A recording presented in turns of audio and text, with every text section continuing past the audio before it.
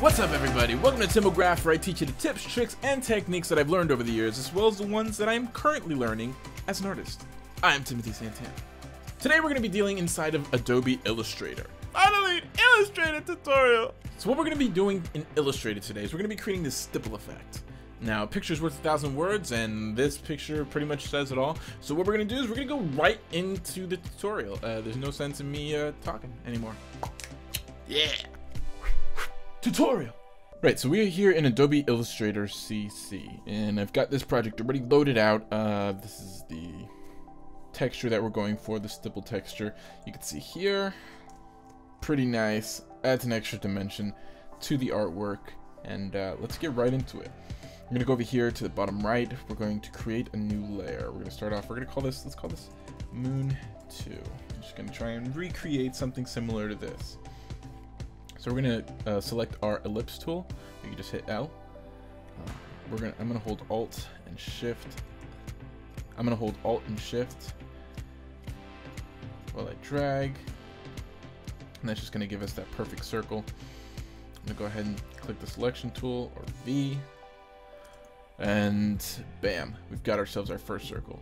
Now what we're gonna do is we're gonna open up this layer. You see we've got ellipse shape. We're gonna hold Alt, click, and drag up. Right on top, we're gonna have our copy. Now let's just go ahead and call this moon shadow. Actually, let's not call it shadow, let's call it stipple. This is gonna be our stipple effect. We'll call this moon color. So let's go ahead, make sure we have our moon stipple selected by uh, hitting this little this little check circle right here just to make sure it's selected. Now what we're gonna do is instead of a color, we're gonna go over here to where our color is. We're gonna hit the gradient. Bam. So now we've got our gradient.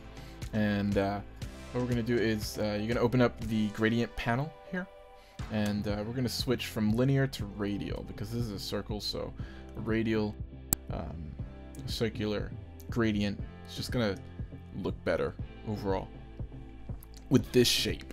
Okay, so what we're gonna do is we can uh, we can go ahead and adjust now. You're gonna have your black, you're gonna have your white. We're gonna go to the white side right here.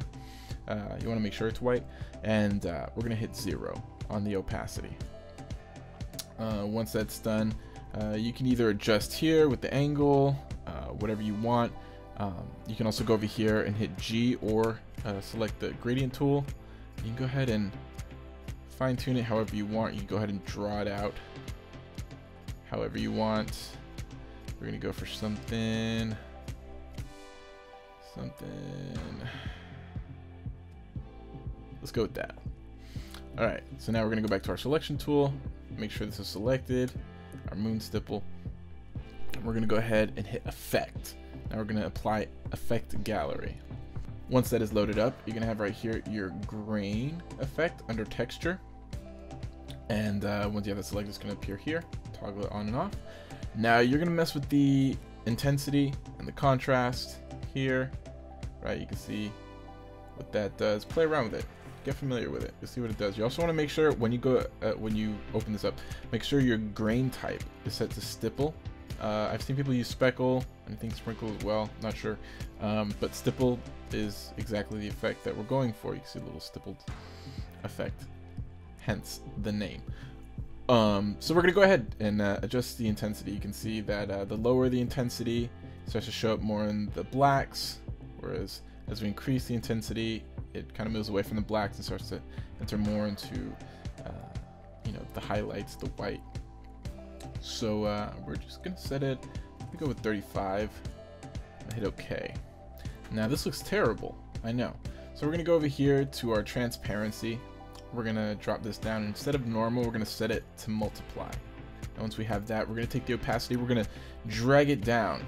And uh, usually want to keep this between like 10 to 20. I think that's like the sweet, sweet spot. And uh, you can just mess with this.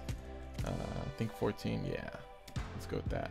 So we got 14 there. And bam, already got ourselves a stipple effect right there. And uh, that's looking pretty great.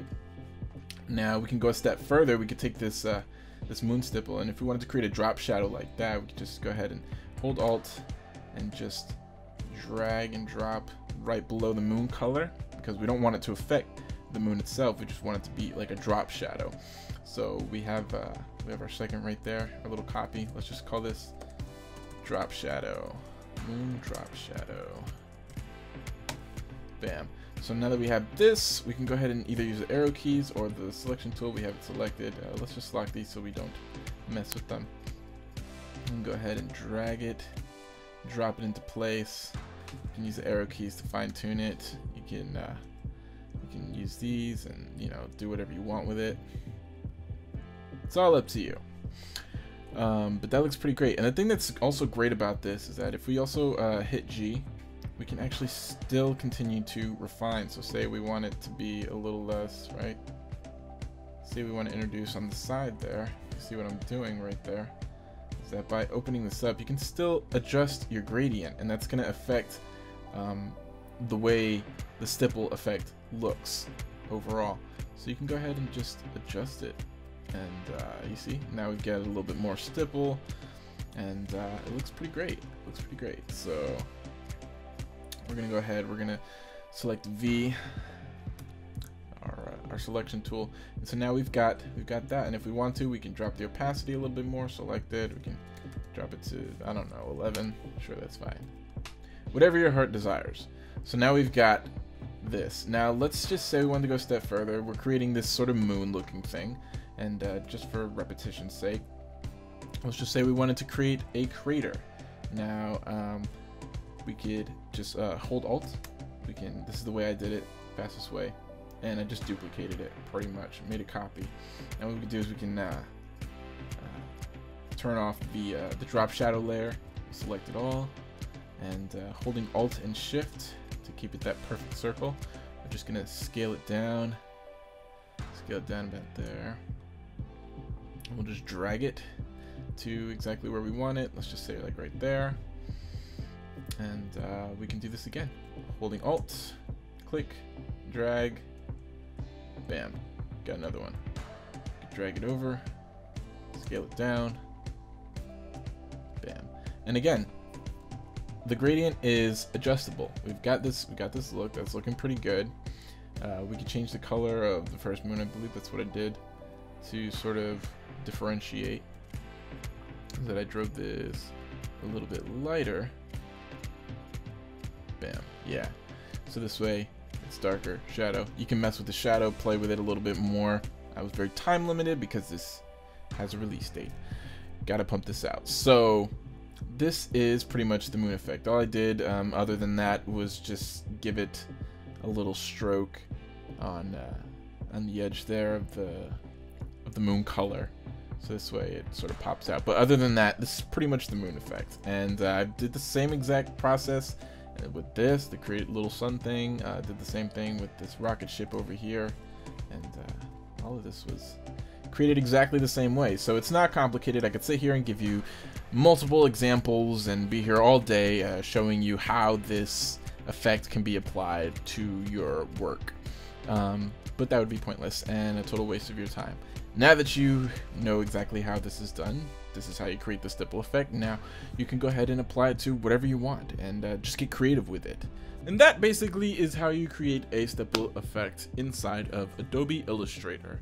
Now if you found this video helpful, useful in any way, shape, or form, be sure to hit that thumbs up, give it a like. Also if you have any suggestions for future videos or tutorials, be sure to leave it in the comments below. If you have any questions, be sure to ask and I'll get back to you uh, ASAP.